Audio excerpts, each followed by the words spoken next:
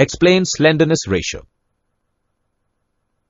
The slenderness ratio is the ratio of the effective length to the appropriate radius of gyration lambda by KL by R.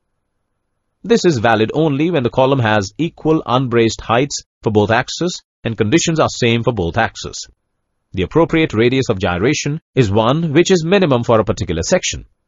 For example, a section asymmetrical about the centroidal axis will bend about the principal axis VV for which the radius of gyration is minimum. On the other hand, a section symmetrical about both the centroidal axis or even with one axis of symmetrical will bend about one of the centroidal axis giving lesser radius of gyration. The slenderness ratio should be kept as small as possible. This can be achieved by selecting a section which provides the largest value of the minimum radius of gyration without providing more area or by reducing the unsupported length of the column by some means.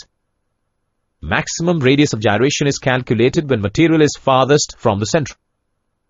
If feasible, then the unsupported length can be reduced and thus permitting use of eight smaller sections at high average stress.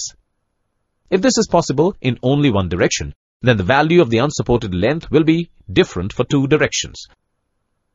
Sections with different radii of gyration in two directions may be so chosen as to obtain the values of the two slenderness ratios lambda xx and lambda yy with least difference. The larger of the two would be used for the determination of the nominal axial compressive stress. An I-section electric pole fixed at the base and carrying wires parallel to the road is an example wherein the wires provide a hinge condition in the direction of wires, 1 is equal to 0.8 L, and with free end condition in the perpendicular direction, 1 is equal to 2L. The section is used to its full strength by providing flanges parallel to the direction of wires and thus attempting to equalize lambda xx and lambda yy. Why is slenderness ratio of compression members limited?